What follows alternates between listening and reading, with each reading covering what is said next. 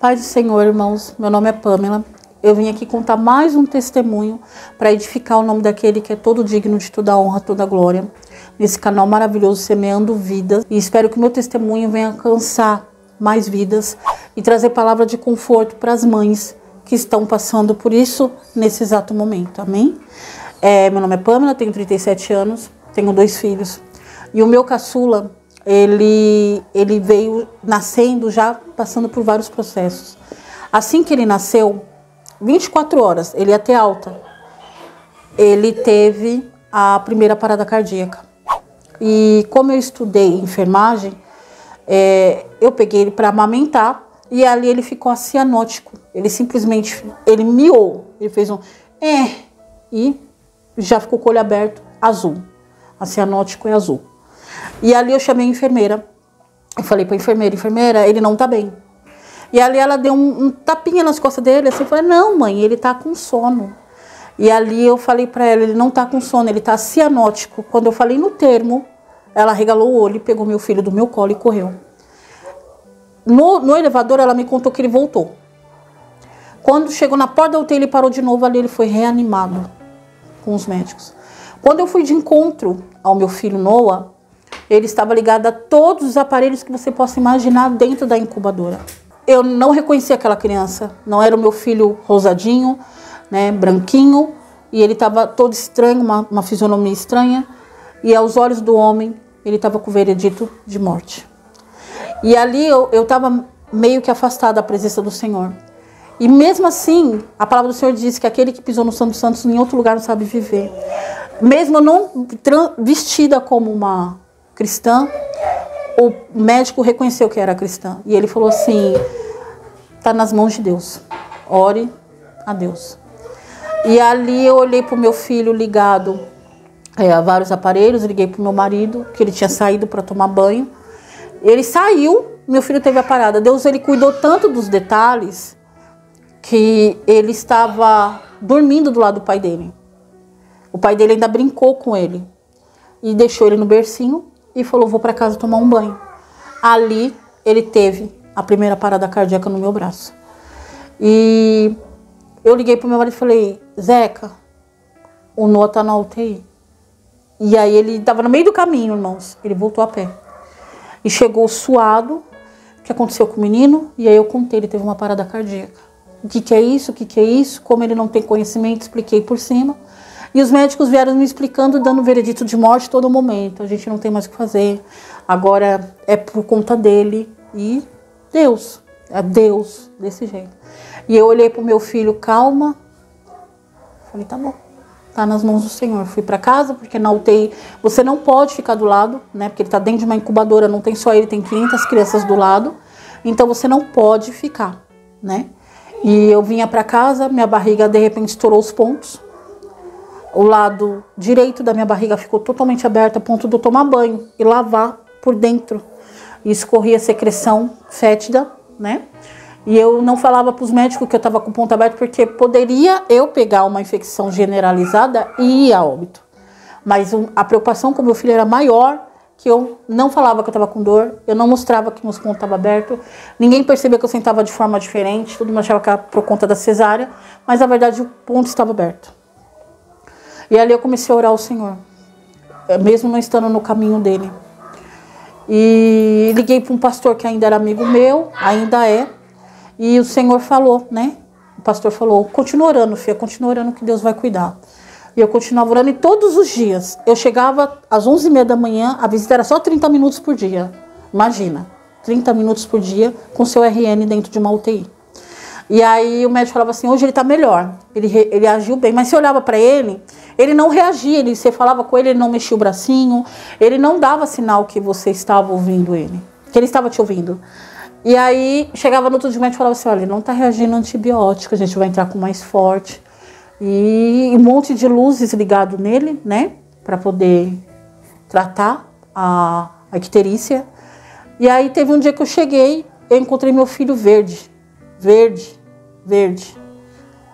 E todas as luzes que estavam em cima dele desligado. Eu pensei comigo, pelo meu conhecimento. Meu filho morreu. E eles deixaram o corpinho para ver o corpo dele, que também não pode, né? Quando um, um independente se é RN ou adulto, o corpo é retirado. Você reconhece no ML, não dentro da. E eu falei agora. E aí a enfermeira calma, eu falei pronto, ele morreu, ela não pode falar porque a ordem, a enfermeira não pode dar o, o resumo do dia do paciente, só médico. Aí o médico chegou e explicou que ele teve a icterícia positiva. A negativa, acho que é isso mesmo, a negativa deixa a criança amarela.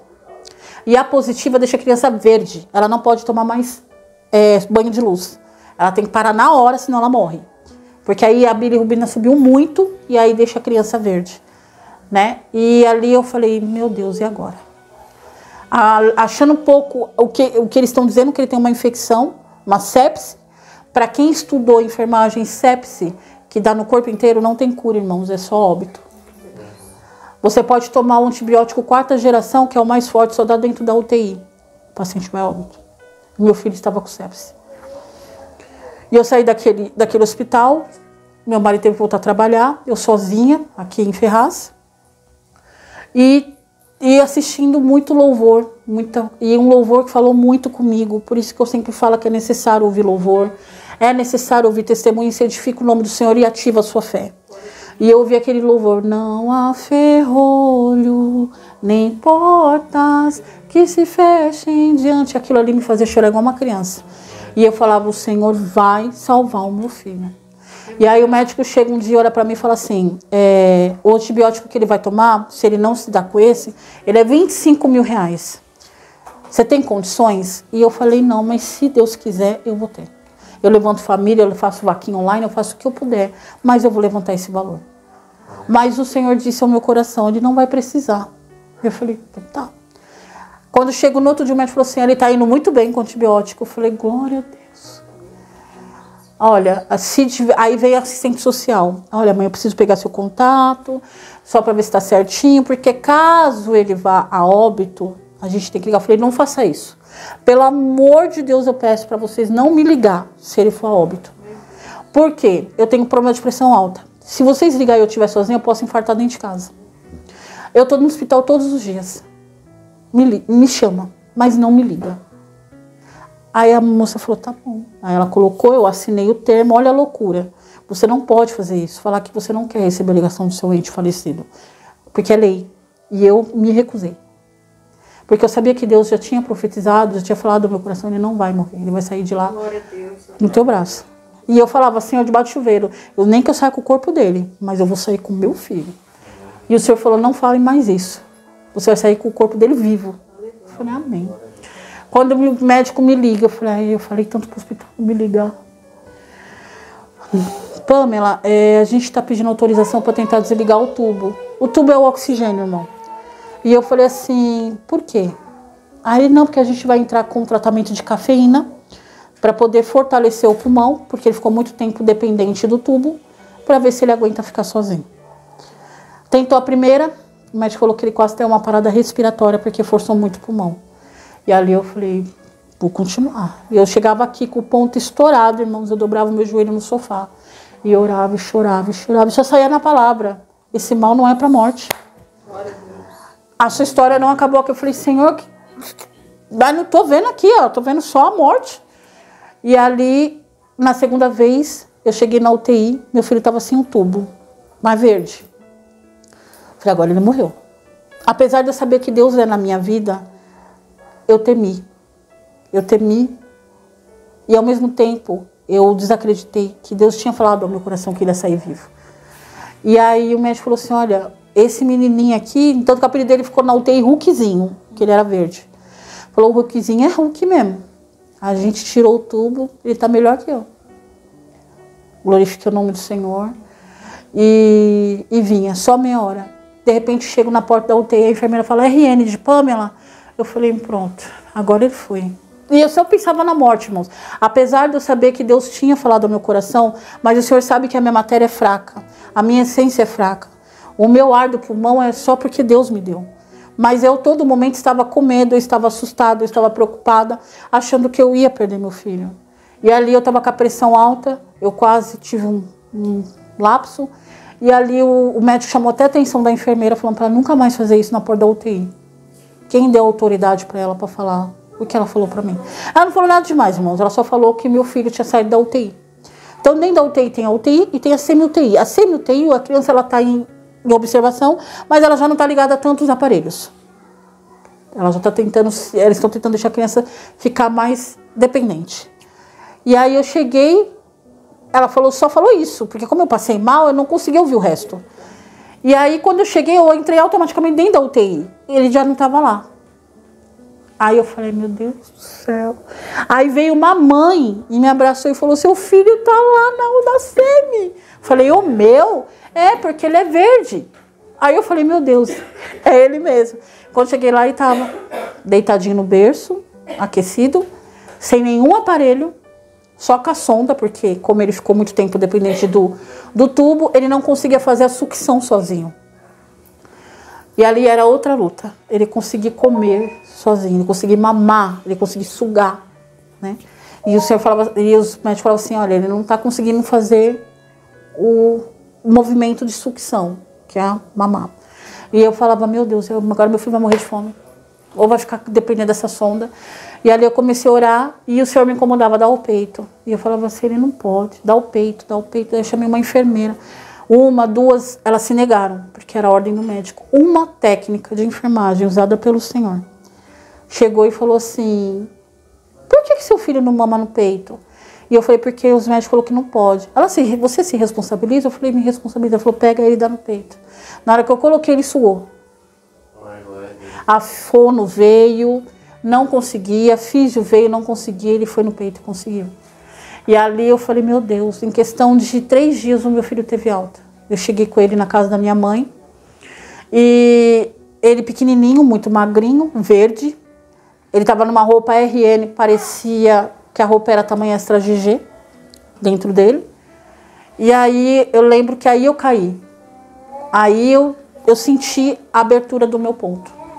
Que ali deu febre, ali deu mal-estar, ali eu achei que eu ia. Mas aí eu falei, Senhor, se for para me levar, eu sei que o meu filho, ele está em boas mãos. E aí eu vi eu deitada na cama, eu ouvi minha mãe, eu coloquei ele para deitar aqui, e eu ouvi minha mãe falando com a minha irmã: Olha, vamos orar. Minha mãe não é crente, irmãos. Vamos orar por esse menino e pela Pamela, porque ele não vai aguentar. Ele é muito pequeno. E aí o meu cunhado é técnico de enfermagem também. E aí perguntaram para ele: "Você acha que ela, ele vai aguentar?" E ele falou assim: "Cleide, coisa do Deus dela. Ele também não é crente, né? Ele é o espírita. E ali meu filho começou a ganhar peso. Ele começou a voltar a cor normal. Hoje meu filho vai fazer quatro anos. Mas aí você fala, graças a Deus deu tudo bem, seu filho está bem, acabou a luta. Não, não acabou a luta. Quando meu filho tinha um ano e meio, ele pegou um resfriado muito forte. E eu percebi que era estranho, porque ele, ele só dormia. Ele comia com muita dificuldade de dormir. Eu falei, isso não é normal, vou levar ele para o hospital. Nesse tempo, eu estava num hospital em, em experiência, e no hospital tinha um convênio. Quando eu cheguei, eu estava na época do Covid, irmãos. Olha que loucura, eu abri mão dos meus dois filhos para trabalhar na época do Covid. Eu tomava banho dentro dessa lavanderia para tentar entrar dentro de casa. Porque eu, eu acreditava que eu precisava salvar vidas. Mas eu não sou Deus. Né? E aí eu cheguei no hospital lá no Cepaco, lá na Vila Mariana, aqui em São Paulo. E os médicos olhou para mim lá no PS infantil de repente, um monte de gente se firmou em volta do meu filho. E aí começou aquela correria e uma médica tentando me empurrar, uma, uma eu não sei se era médica, técnica, ela tentava me empurrar. Por favor, mãe, deixa sair daqui. Eu falei, eu não vou sair daqui. Eu tenho conhecimento. Se eu estivesse fazendo escândalo, se eu estivesse fazendo aquele show, eu sou obrigada a sair, porque eu estou atrapalhando a equipe. Mas eu vou continuar. E ali, irmãos, com o braço cruzado, olhando meu filho sendo reanimado. Foi reanimado uma, não reagiu. Foi reanimado duas. Aí ele reagiu. Ali ele já foi levado às pressas para UTI, um resfriado. Ali ele já não acordava mais. E eu falava, meu Deus, o que está acontecendo? O senhor já tirou ele da cova uma vez, o senhor vai tirar de novo? Eu creio, creio, creio, creio. E aí uma vez uma moça olhou para mim e falou, mas o filho não é seu, é de Deus. Ali eu entendi que eu não podia mais profetizar que era meu. era de Deus, ele podia fazer o que ele quisesse. E meu filho não acordava, você chacoalhava, ali colocaram sonda. Aí eu falei que eu era técnica de enfermagem, trabalhava no setor de Covid, me fizeram escolher. Qual que você quer, a vida do seu filho ou a profissão? Porque se o seu filho pegar Covid, ele não vai aguentar. E você também não vai poder ficar dentro da UTI, porque tem outras crianças. Ali eu abri mão. Irmãos, eu estava na experiência do hospital. Eu abri mão do meu emprego, da minha experiência, num hospital, um dos melhores hospitais de São Paulo. É o sonho de qualquer profissional da área da saúde, eu mão. Falei, eu não vou mais. Liguei para minha coordenadora, expliquei. E entrei dentro do quarto, ele não reagia, os médicos começaram a fazer um monte de exame deu que era o coração. O coração dele é muito fraco. E aí, o coração de uma criança, para quem não entende, o batimento adulto é até 100 batimentos por minuto, o normal adulto. A criança vai de 150 a 120, 130, é o normal. O batimento dele dava 70. Ele estava com bradicardia, ou seja, o batimento diminuindo. Aí eles tomavam, eles davam cafeína para fortalecer o batimento. Aí caía de novo. E eu falei, meu Deus, Senhor, o que, que eu vou fazer agora? E aí a médica falou, olha, não é mais comigo, eu vou chamar uma cardiologista pediátrica, que é muito difícil, mas ela vai tá por aqui e ela vai avaliar seu filho. Mas eu não vou deixar a senhora desenganada. Provavelmente eles vão pedir um transplante de coração ou eles vão pôr uma ponte de, de safena, eles vão fazer alguma coisa para o seu filho ficar, então, até. E eu conversando com as outras mães, que a maioria dos erros nossos é ouvir a história das outras mães e a gente preparada espiritualmente, psicologicamente, é a pior coisa. Porque a gente só vê a morte. E aí eu vi uma das mães que tinha um filho é, que era cardiopata. E ela falava assim: meu filho tem oito anos, está de novo dentro da UTI. Eu olhava aquilo e falei: senhor, eu não aceito. Eu vou ver a vida toda dentro de uma UTI, eu não aceito. Eu não aceito. E aí eu, o médico falou: é isso. E aquilo me bateu um desespero tão grande, irmão. Eu estava passando por, por, um processo de separação. Eu estava separada do meu marido. É, meu filho dentro de uma UTI. Meu outro filho na casa da minha sogra, que eu não via fazia três dias com a mesma roupa do corpo, esperando a minha mãe trazer roupa para mim, né? Eu só tomava banho, mas colocava a mesma roupa, então era a mesma coisa de estar suja. E aí eu fui pro banheiro do, do hospital Sepaco. É um, é um corredor, você entra, tem uma segurança na porta, aí você entra. Você vê um armário e na, do lado direito é uma porta com a privada, a pia e o chuveiro. Um box, tudo bonitinho. É uma pessoa por vez que entra. Eu entrei. Ali eu dobrei meu joelho na privada. E comecei a falar, Senhor, se o Senhor curar meu filho, se o Senhor tirar meu filho de dentro desse leito, eu de vez me converto. De vez eu sirvo o Senhor. De vez eu paro de ser covarde. E aí eu ouvi a voz de uma mulher. E normalmente as minhas da faxina, elas passam cantarolando, falando sozinha. Então a gente já sabe que é a pessoa da limpeza, né? E ela falou assim, não, ó, profetiza sobre o vale de ossos secos. O quê? Profetiza. Mas sabe com um ar de tipo, profetiza. Eu saí, abri a porta, não tinha ninguém. Aí eu fui na segurança secando a lágrima e falei, olha, cadê a moça da segurança, eu preciso, ou da limpeza, eu preciso falar com ela, né? É, eu peguei um negócio com ela, eu vou devolver. Ela falou, mas não entrou ninguém aí. Eu falei, entrou, entrou uma moça da limpeza, ela acabou de falar comigo. Não, moça, eu tô aqui na porta, eu não saí. E eu sou a mesma segurança que a senhora entrou, só tava a senhora lá dentro. Eu falei, meu Deus. Eu sentei na cadeira, era onze e meia da noite. Meu marido totalmente com a cabeça virada né? Porque não tinha se convertido, ouvindo conselhos alheios. Para casamento é coisa de, perder, de perdedor. Olha como o inimigo trabalha. Tentando tirar a vida do meu filho e ao mesmo tempo destruir meu casamento. E aí eu tentei achar na Bíblia, não, não tinha tanta intimidade com a Bíblia. Eu fui para o Google. E aí passou, apareceu a passagem para mim. Que o Senhor fala para o profeta, né? De frente para o vale de ossos secos.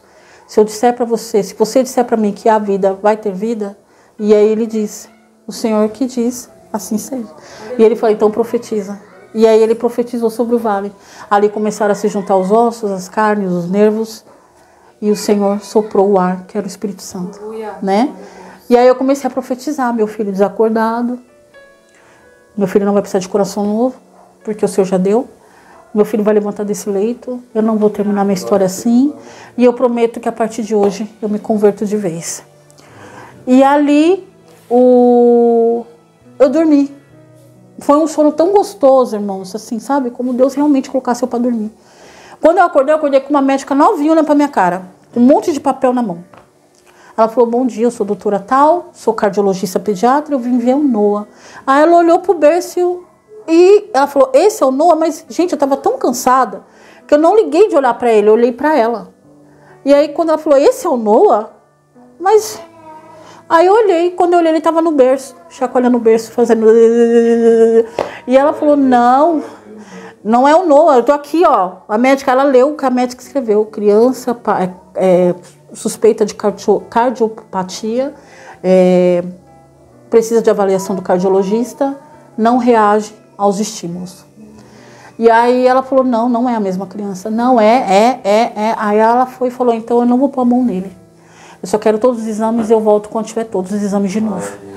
Aí ele repetiu todos os exames os exames primeiros que eu tenho, que ele tinha um monte de coisa. No segundo exame não tinha nada. Glória meu filho estava acordado, meu filho estava sentado, estava comendo toda a dieta que mandava para ele. E eu falava, quando eu vou sair daqui, Senhor? Cansada, porque querendo ou não, tinha outro menorzinho em casa. Eu sei que estava nas mãos da minha sogra, mas mãe é mãe, né? E eu falava, Senhor, eu quero ir embora, eu quero ir embora, eu quero ir embora. E meu marido com a cabeça virada, irmãos. E aí, quando eu liguei pro meu marido, que não era meu marido até então, estava morando até com a mãe dele, ele falou assim, eu falei, olha, eu estou saindo do emprego e vou cuidar dos meus filhos. Olha a loucura. Você é solteira, com duas crianças, você vai abrir mão de tudo. E ele olhou, ele, ele ficou mudo, ele falou assim, não vou voltar para casa. Tá ouvindo? Tá ouvindo? E eu falava assim, meu Deus, e agora? E aí ele falou, vou visitar meu filho. Eu falei, ele estava tão revolto, meu marido estava tão revolto, estava tão estranho. Que ele é esse homem calmo que vocês viram. Imagina um homem bravo. Era meu marido. E aí ele falou: Vou visitar meu filho, eu quero ver meu filho. Eu falei: Tudo bem, mas eu não vou sair da UTI. Eu vou descer, fico na portaria e você sobe. Então eu vim orando. Falei: Senhor, o que, que eu vou encontrar? Eu não sei o que eu vou encontrar, já estou oito dias aqui dentro, esse homem está revoltado e não sei o que, não sei o que. E eu sou fortinha, irmãos. Eu não tinha noção do quanto eu emagreci em oito dias. E aí, quando eu desci pro saguão do hospital, já vi o meu marido. Não era mais aquele homem estranho. E ele fez um gesto que eu esperava que eu não ouvi tanto tempo. Você tá bem? E eu trouxe o refrigerante. E ah, olha como Deus cuida dos detalhes, irmão. Eu desci, dentro do elevador do hospital, falei: Nossa, eu queria tomar tanto aquele refrigerante que eu gosto, que é o Schweppes, que é caro. E eu falei: Queria tanto. E eu só, só cuidei da condução, porque na minha cabeça meu filho até alta, eu ia pegar o transporte público, pegar meu filho de, saiu de dentro de uma UTI, pegar um trem ir embora. Essa era a minha concepção. Quando eu cheguei no saguão, meu marido sentado, calmo, ele se assustou na hora que ele me viu. Você não pode ficar assim. Nossa, como você está batida. E aí ele abriu a mochila ali, eu entendi que Deus já estava no negócio. Quando ele abriu a mochila, ele tirou o Schweppes latinha. E ele falou, trouxe para você. E ah, eu trouxe um pastel. Eu falei, eu não posso comer aqui dentro. Mas o refrigerante eu vou aceitar, põe dentro da minha mochila lá. E aí ele foi, subiu, viu meu filho. Ali eu acredito que Deus trabalhou, quebrantou, usou a minha sogra para falar para ele: cuida da tua família. Sua família precisa de você. E na época ele estava se relacionando com uma outra mulher. E aí meu filho teve alta logo depois que ele foi embora.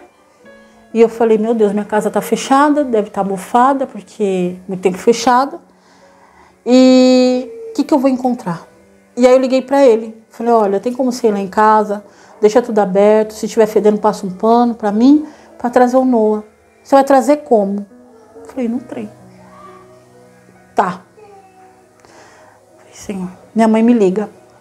Fia, quando o Noah estiver alta, pode me ligar que eu mando Uber. Irmãos, o Uber da Vila Mariana para Ferraz de Vasconcelos é no mínimo 120 reais. O Senhor preparou até o meu Uber para ir embora. 10 horas da noite. Eu com meu filho no braço, saindo de uma UTI. Com o rosto machucado por causa dos curativos, o peito machucado por causa dos curativos, né, dos aparelhos.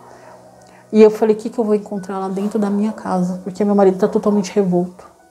Eu cheguei aqui, irmãos, meu marido tinha feito janta, tinha passado um pano na casa. Tava esperando eu chegar para tomar banho, jantar e ele ir embora. E eu falei assim, meu casamento acabou mesmo. E ele falava: não tem volta, não tem volta, não tem volta, não tem volta, eu não quero mais. E aí a minha pastora olhou para mim e falou assim: Você quer lutar pela sua família? Falei: Quero. Então prepara, que a guerra é grande. Mas o Senhor está dizendo que Ele vai bater no teu portão para voltar. Eu falei: Eu creio. E aí eu comecei a servir ao Senhor, eu comecei a abrir mão de muitas coisas da minha vida, não só a vida profissional, mas ali eu comecei a abrir mão da minha vaidade. Eu comecei a abrir mão da, das coisas que eu achava que era bonito para o mundo falar que é bonito. Eu comecei a abrir mão. Quem me conheceu no passado sabe que eu era extremamente vaidosa, não podia faltar um brinco, uma unha bem feita, uma maquiagem, que eu sou maquiadora. E ali eu não. E aí eu olhei para ele uma vez, ele não tinha voltado para casa. Eu falei: a partir de hoje você vai me ver só de saia. Você está preparado? E ele olhou para mim e falou assim: a minha mãe é crente da Deus e Amor há quase 30 anos. Eu acho a coisa mais linda. Elas. Meu marido nem crente. Eu falei, amém. Continue indo, continue indo. E minha, meu marido totalmente revolto, meu marido totalmente estranho. Ali eu comecei a dobrar o joelho. Senhor, chega. É a última vez que eu vou orar por ele. Eu não aguento mais. Usa quem o Senhor quiser. Ou o Senhor liberta e traz, ou o Senhor tira com raiz e tudo. Irmãos, Deus usou a penina. Para quem não entende da Bíblia, é amante. Deus usou a penina ele estava marcando para sair com ela. Ela ligou para ele e falou: É melhor cada um pro seu canto, a sua família precisa de você. A amante falou que o meu marido precisava voltar para casa.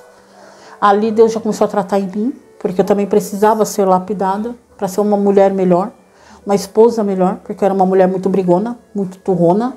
Eu usava, eu não sabia pedir eu não sabia conversar, eu não sabia entrar num acordo. Olha, vamos pintar a casa. Eu não chegava com ele e falava assim, ó, vamos pintar desta cor, o que, que você acha? Não, eu chegava com a tinta. E logo depois vinha o pedreiro. E ele. E aquilo ali, o Senhor veio mudando. Aprenda. Ser submissa, irmãos, não quer dizer que seu marido vai te humilhar, que a sua família vai te humilhar e você vai baixar a cabeça. Você vai ter sabedoria. Você vai saber conversar. Você vai saber é, resolver. Não adiantava eu chegar em casa fazendo escândalo, porque eu queria daquele jeito. Eu chegava, deixava passar a ira, dobrava o meu joelho e ali eu pedia, Senhor, me, me, me dirige, me dirige para o que o Senhor quer. Me usa, usa a minha boca. A partir de agora não é mais a Pamela, é o Senhor. E ali o Senhor começava a lapidar a vida do meu marido. E aí eu comecei realmente me convertir de vez. Que foi para uma igreja pentecostal. E eu lembro da minha oração como se fosse ontem. Eu sei, eu falo isso nos meus vídeos. Eu estava tão atribulado, irmãos, que eu falei assim: Senhor, se o Senhor salvar meu filho, eu entrego a minha vida para o Senhor. Porém, ó, porém, eu não quero uma igreja cheia de doutrina. Eu não quero parecer aquelas velhas. Porque eu sou signo de Sagitário, eu sou espírito livre. Oh, meu irmão. Ainda bem que a palavra do Senhor diz que o Espírito Santo intercede por nós, né? Aí no meio da oração, o Espírito fala, não, não é isso que ela quer, não. Peraí, Senhor. Ela falou errado, vem cá. Entendeu? E ali o Senhor me colocou dentro da onde? De uma igreja que eu falei que eu não queria. E hoje eu estou muito bem. E meu marido ainda meio redio. Aí o Senhor falou: Eu vou tocar onde dói. E meu marido, ele era um homem também que, tipo, eu ganho bem, eu não preciso. Aí o Senhor fechou a porta. Achando um pouco, fechou a minha. A dele fechou em outubro, a minha fechou em novembro. E aí ele chegou e falou, Pamela, eu fui mandada embora. Um emprego bom, ganhando bem, e agora? E a calma do Senhor na minha vida era tão grande por pouco tempo assim de voltada, de realmente de um ministério mais tradicional. O Senhor falou no meu coração, pode ficar tranquilo. E aí eu falei, vai faltar. E toda vez que eu orava, toda vez que eu pedia, chegava a providência, chegava meu armário, chegava remédio, chegava fralda. E ali Deus usou uma irmã que nem conhecia o meu marido. Ela nunca viu o meu marido, ela só me viu. Quando eu falei no meio das irmãs que ele estava desempregado e eu também, ela ligou para mim e falou assim, ainda falou com ele. Você não quer trabalhar lá na minha loja no Braz, não? É só pro final do ano, só pro irmão não passar o final de ano desempregado, com fome. Ele falou, vou, porque o marido não tem problema para trabalhar. Meu marido era para ficar só o mês de dezembro ao começo de janeiro. Meu marido ficou quase um ano. Ele mandou todos os temporários embora. Aí o patrão dele olhou para ele e falou assim: Eu não sei o que, que você tem, Mas Deus falou que não era para mandar você embora. Ele ficou um ano. Aí foi quando o Senhor falou: Eu vou voltar você para a área. Eu falei: ah, Senhor, se ele voltar, ele não vai voltar para a igreja mais. Ele não quer mais saber de igreja porque ele é pizzaiolo. Então ele trabalha seis por um. Então ele folga só nas segundas, no caso. E ali eu falei: Senhor, eu não aceito. E a gente já pensando aperto. A gente pensando aperto. Até o dia que eu entendi: Senhor, é teu filho, é teu servo se o Senhor quiser abrir uma porta de segunda a segunda, o Senhor abre. Se não, o Senhor não abre. Está nas tuas mãos. Eu acabei de falar isso, Mauri chegou numa sexta-feira. Sentou na escada e falou, filha, eu vou ter que voltar para a área mesmo, não tem jeito. E eu falei, é, preocupada, né? Meu marido vai desviar. Aí o telefone tocou. Por favor, senhor Zacarias, ele é ele. Ele falou assim, aqui é da pizzaria tal, eu queria chamar você para uma entrevista, achei seu currículo aqui. Aí ele, fazia um ano que ele não mandava currículo para pizzaria nenhuma. Como que essa pessoa tinha o currículo dele? E aí eu pagava muito. Isso há quatro anos atrás, irmãos, eu pagava uma empresa que entregava currículo, ela é conhecida no mercado. Você paga e ela põe seu currículo. Fazia quatro anos que eu não pagava mais. Então eu cancelei. Quando você cancela, o, o currículo é cancelado, ele sai dos status. Ninguém mais vê. Ele não existe mais no, no sistema. E aí ela falou: Eu abri esse currículo dele em tal site. Você está brincando? Não. Aí o Zeca foi fazer a entrevista, ela mostrou o site, estava lá, o currículo dele. Então, irmãos, Deus pegou o currículo dele dentro dos cancelados, ativou por aquele dia e entregou na empresa que ele está hoje. Achando pouco, meu marido trabalha 12 por 36, um pizzaiolo. Quando você conversa com um pizzaiolo e fala, eu trabalho 12 por 36, ele vai falar, mentira, não existe pizzaria. Nenhuma pizzaria trabalha segunda. Ele trabalha 12 por 36, continua adorando, glorificando o nome do Senhor, continua servindo. Trabalhando um dia sim, um dia não. Um culto sim, um culto não, ele está lá. Um ensaio sim, um ensaio não, ele está lá. No grupo, nos, nos cultos de varões ele está todos, até agora todos ele participou, né? E e Deus achando pouco, achando pouco, vou fazer na tua vida. Estava 13 anos com meu marido. Eu falava para ele que você era casar. Ele falava assim: Eu quero casar, mas não com você. Um dia minha sogra quis dar até uma surra nele. Tá doida? Você vai falar para a mulher, mãe dos seus filhos, que você não quer casar com ela? Ele, mãe. E eu falava assim, mas foi o senhor que me preparou. E não sei o quê. Aí a minha pastora, mais uma vez usada, falou assim: Olha, seu casamento vai sair mas vai ser da boca dele. Porque quem pedia sempre era eu. Aí um dia ele, a gente está ali no centro de Ferraz, tem um cartório. Aí ele falou assim, Fia, quanto será que custa para casar? Eu falei, eu não sei, mas dizem que é caro. Aí nós fomos no cartório, ele perguntou, eu falei, na outra semana ele foi lá com o dinheiro, pagou minha certidão de nascimento, pagou a certidão de nascimento dele e falou, vamos casar. Já chega de palhaçada. É projeto do Senhor. E 13 anos esperando, irmãos. E ali Deus, ele prometeu a minha aliança. 13 anos esperando. Eu me casei em agosto do ano passado, dia 21, dia 26 de agosto, eu casei.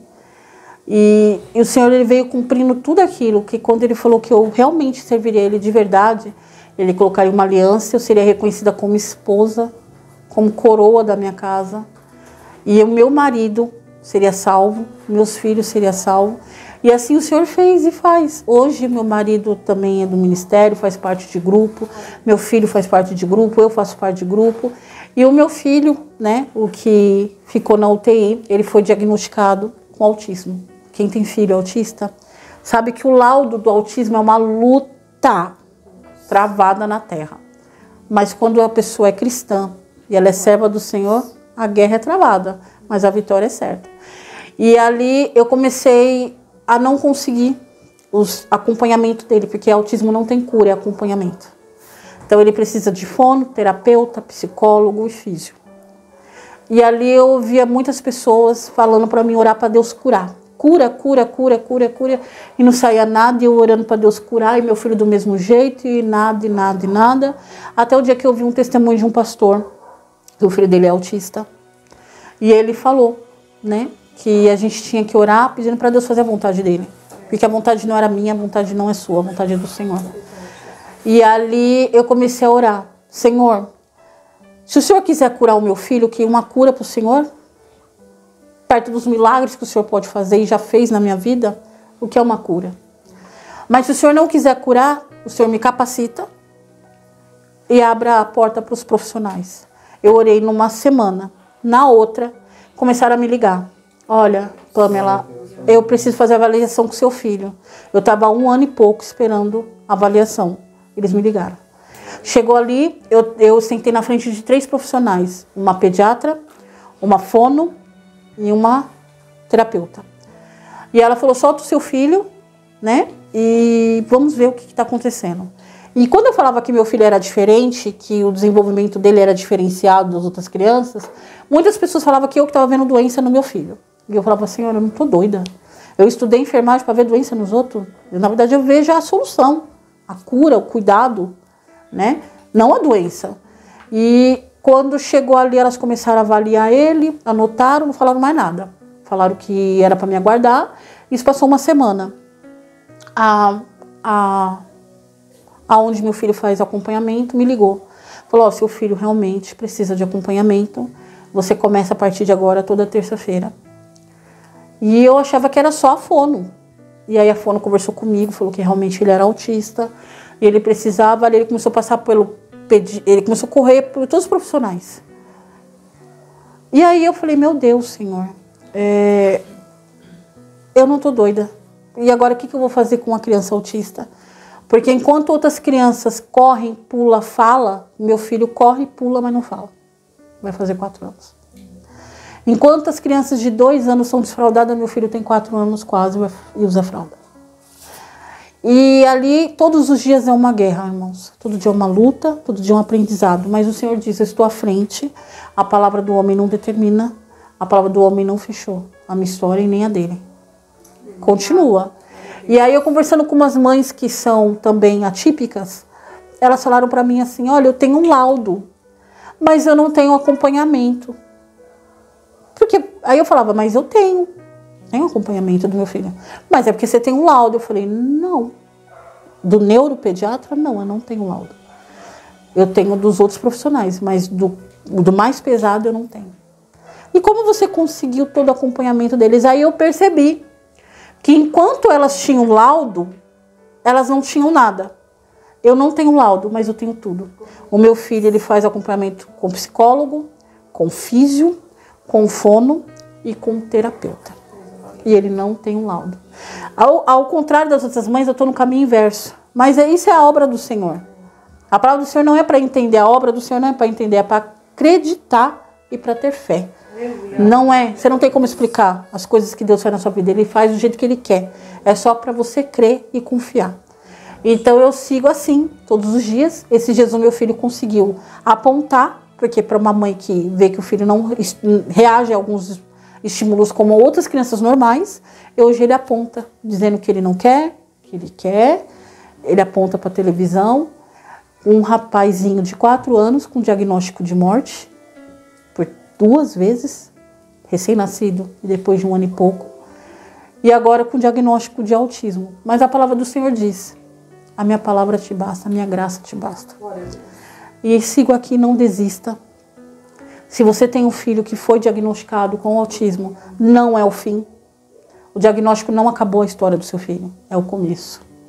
Ali você vai aprender muita coisa. Ali você vai aprender a ser uma mãe melhor. Não que você seja uma mãe ruim, mas você vai aprender a ser uma melhor mãe. Você vai aprender a ter mais sabedoria, mais paciência. Porque o tratamento é diferenciado, mas é maravilhoso. E eu não troco um minuto que eu acompanho meu filho nos acompanhamentos. E não me arrependo de ter aberto a mão da minha profissão, porque até aqui o Senhor veio me sustentado. Não me falta nada. Hoje mesmo contei uns milagres para os irmãos, que eles vieram aqui para gravar. Família abençoada. Eu estava com cinco reais na minha conta. E ali eu falei, Senhor, como que eu vou receber os irmãos, que eu tenho, eu tenho esse costume de receber bem as pessoas. Eu gosto de coisa para ela comer, para as pessoas beber, se sentir à vontade, né? E ali o Senhor é, mostrou que quem dá a última palavra é Ele. Como sempre na minha vida, eu agradeço que Ele continue dando a última palavra. Quando eu abro a minha conta, o dinheiro na conta, muito mais do que eu estava esperando para fazer a bênção para eles. Então, quando Deus está no negócio, irmãos, não tema. Seu armário está vazio, eu continuo profetizando sobre a tua vida. Seu armário está vazio, vai transbordar a ponto de você ajudar o seu vizinho. A sua conta está vazia, hoje, como prova, a minha conta não está mais vazia. Eu estava com cinco, hoje eu estou com muito mais que isso, porque Deus ele manda a providência.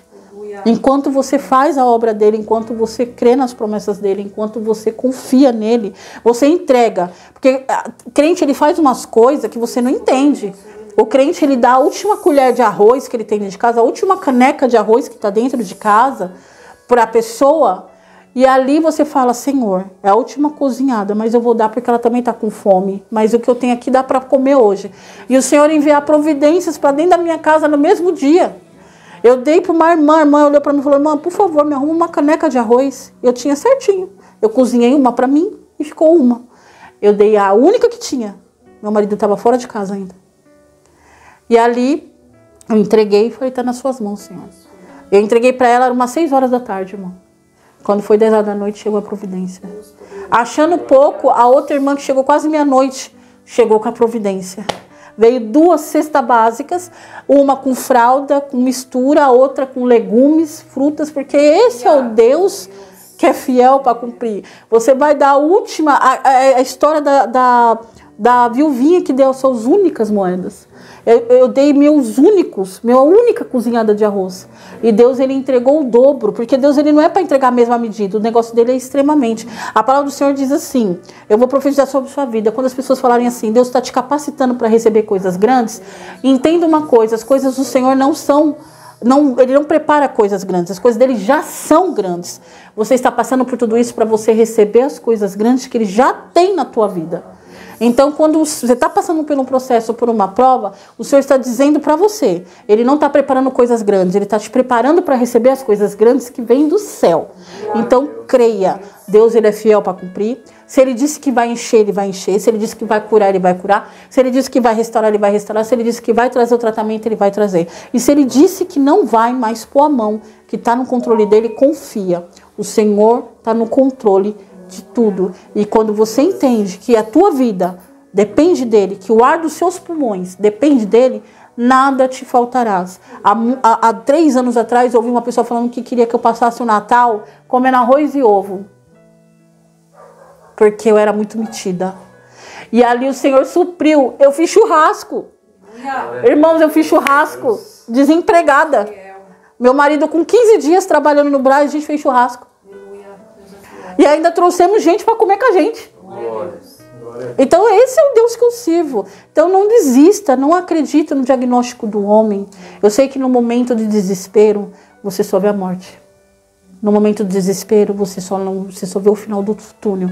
Só que, quando você vê o final do túnel, lá no final a luz está acesa. E o Senhor está segurando a tua mão, falando: a gente vai chegar lá. Aí você vai chegar lá. Você vai sair daí, porque a gente vai chegar lá. Então, não pare de sonhar, não pare de acreditar. Não creia que seu filho morreu. Não creia que seu marido não tem mais jeito. Não creia que sua família não tem mais salvação. Acredita que Deus ele é fiel para cumprir. Nem que seja no último minuto, ele entra e salva. Porque esse é o Deus que faz milagres. Né? Então eu sou muito grata a Deus a todo testemunho, testemunho de casamento, testemunho de é, é, filhos tirados da cova, é, filho de novo foi, o inimigo tentou ceifar, mas ali Deus entrou mais uma vez. Hoje eu sou serva fiel e agradeço todos os dias porque o Senhor ainda viu graça em mim, me deu mais uma chance de chegar aqui e hoje eu estou tendo a oportunidade de gravar esse testemunho e dizer para você: a tua história não acabou. Esse não é o fim. Só confia, porque o Senhor, Ele é fiel para cumprir. Como diz o louvor, quem começou a boa obra, Ele é fiel para terminar. E eu sou a prova viva disso. Esse é meu testemunho, sou a prova viva do que Deus faz. E a última palavra dele é que determina. E ele é fiel para cumprir. Estou gravando aqui mais esse testemunho, nesse canal maravilhoso, Semeando Vidas. E espero que esse testemunho chegue a uma mãe que está desesperada, uma esposa que está achando que o casamento acabou, um desempregado ou uma desempregada que acha que vai morrer de fome. Mas Deus, Ele entrega a providência. Amém? Canal Semeando Vida. Deus dá o crescimento à semente que é plantada em terra boa. Deixa aqui o seu comentário. Se inscreva no canal e ative as notificações para receber mais conteúdos que irão abençoar a sua vida. Até a próxima e fiquem com Deus.